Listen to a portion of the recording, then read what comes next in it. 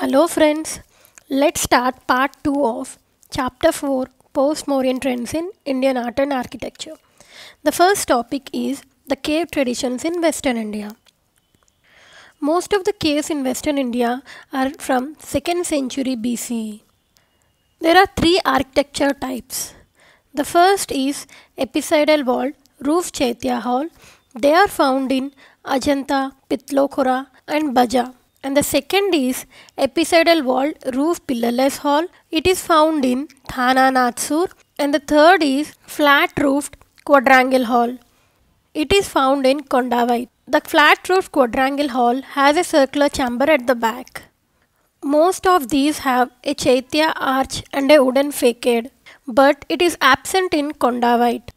In all the chaitya caves, a stupa at the back is common. This is how Chaitya arch looks like in Ajanta and Bhaja.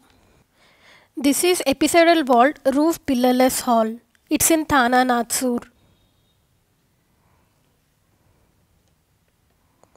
This is the flat roof quadrangle hall which is present at Kondivite. And these are Kanheri caves and Chaitya hall at Karla. There were some changes made to the apsidal wall roof variety and the hall became rectangular. It can be seen in Ajanta cave number 9. It's also found in Bedsa, Nashik, Karla and Kanheri. Among all these, the Karle has the biggest rock cut Chaitya hall.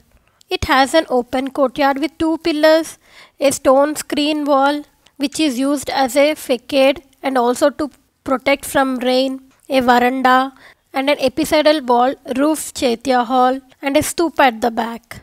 The hall is also decorated with human and animal figures. There were further elaborations over the Karle Chaitya hall which can be seen in Kanheri cave number 3. The cave is unfinished but the carvings are progressed from time to time. Subsequently, after the later times, the quadrangle flat roofed variety became the most preferred design and used at many places. This is Kanheri cave number 3. The viharas consist of veranda, hall and cells around the walls of the hall. The important vihara caves are Ajanta cave number 12, Bedsa cave number 11 and Nashik cave 31017. The facade design present in Nashik K number 31017 is a distinct achievement. The Vihara caves at Nashik were excavated with front pillars carved with ghata base and ghata capital with human figures. Such kind of Vihara was also excavated at Junnar which is also called as Ganesh Leni. It is called Ganesh Leni due to the Ganesha image of the later period installed in it. It also became a Chaitya Vihara because a stupa was added at the back of the hall. Junnar has the largest cave excavations of around 200 caves, while Kanheri has 108 caves. Many people assume that these caves belong to the orthodox faith of Buddhism, that is Theravadins, because of the absence of Buddha image. Later, after the discovery of Konkan Maurya inscription, it is proved that the cave activity in western Deccan was an ongoing process and the caves which were carved with Buddha images does not have image anymore. Such caves were also converted into modern Hindu shrines and became popular worshipping sites. Among the caves of Western India, the most important one is Ajanta. The Ajanta has 29 caves and it has 4 chaityas. Among the 4 chaityas, the 2 chaityas that is cave number 9 and 10 belong to the earlier phase that is 2nd and 1st century BCE while the 19 and 26 caves belong to the later phase that is 5th century CE. This is cave number 9, this is cave number 10, this is cave number 19 and this is cave number 26. There are also many Chaitya Viharas which were decorated with sculptures and paintings. The Ajanta has paintings from 1st century BCE to 5th century CE. The Chaitya caves of 19 and 26 are elaborately carved. It has a apsidal wall roof variety and the facade is decorated with Buddha and Bodhisattva images. The cave number 26 is very big and has various Buddha images and the biggest one is the Mahaparinirvana. This is from cave number 26 and this is the image of Mahaparinirvana.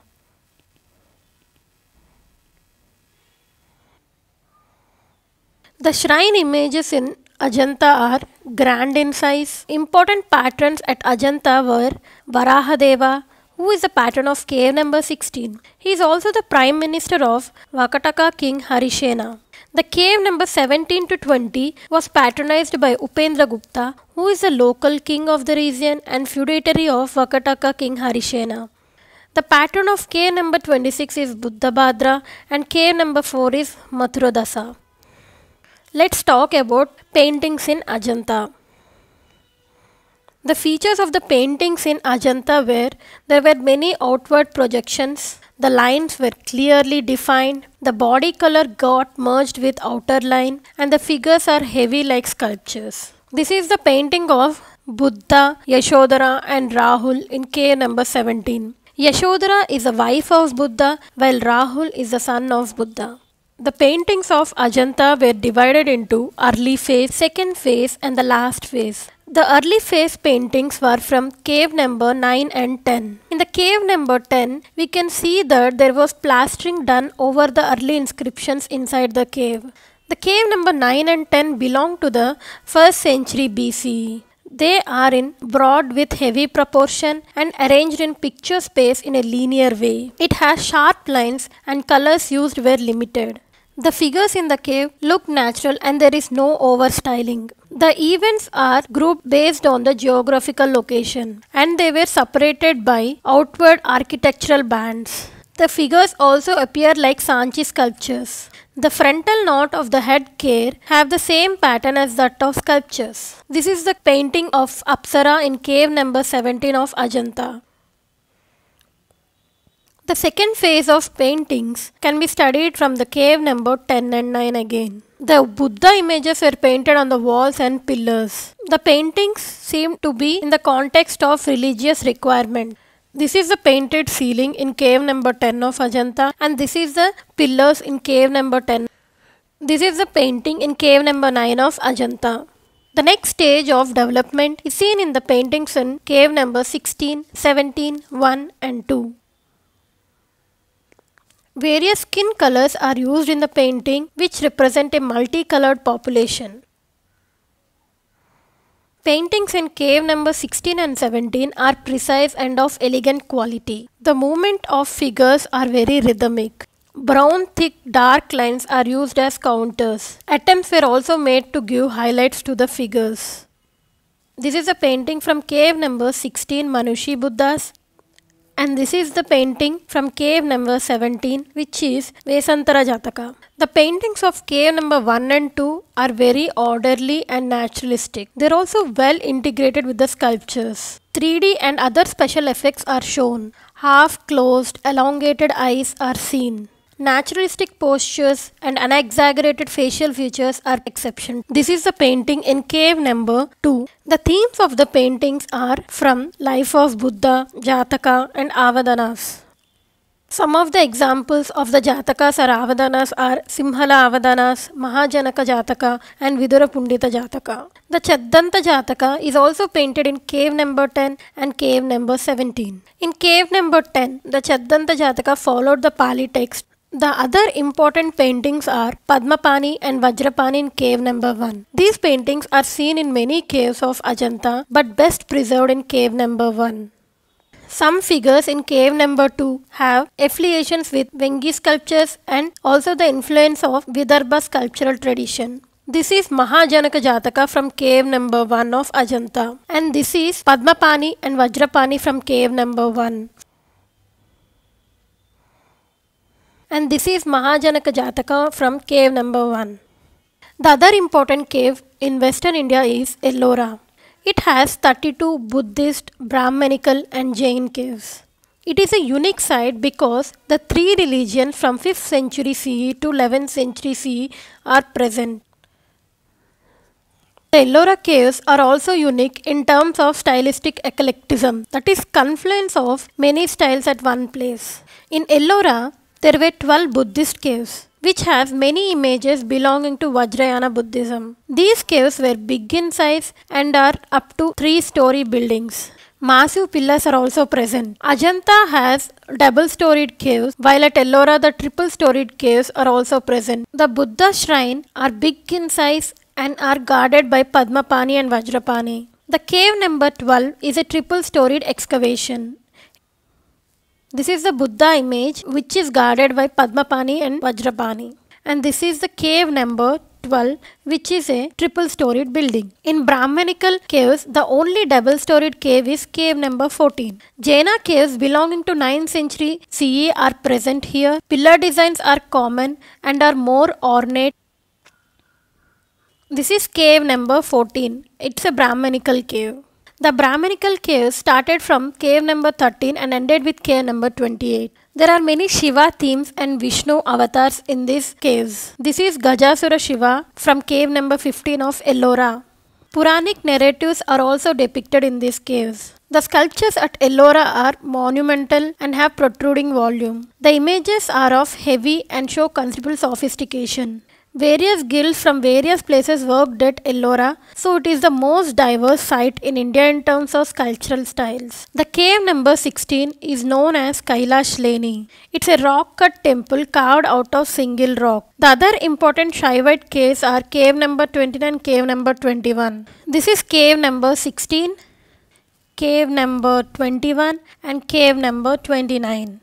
Elephanta Caves the Elephanta caves are located near Mumbai. It is originally a Buddhist site but later dominated by Shaivite faith. It's a contemporary with Ellora. Its sculptures are slender and have stark light and dark effects. The other noteworthy cave site is Bagh near Indore in Madhya Pradesh.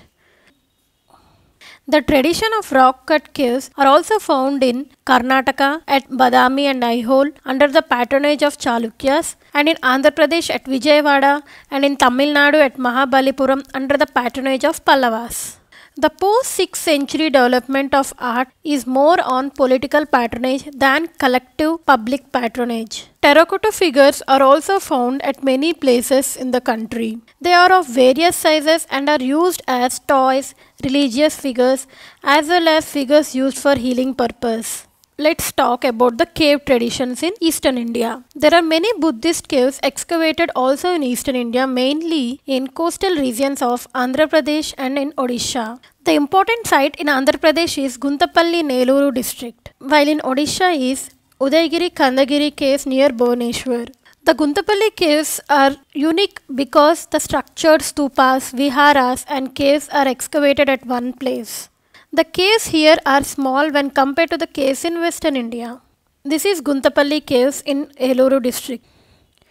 Apart from Guntapalli, the other important cave site is Ramaparalla and Anakapalli near Vishakhapatnam.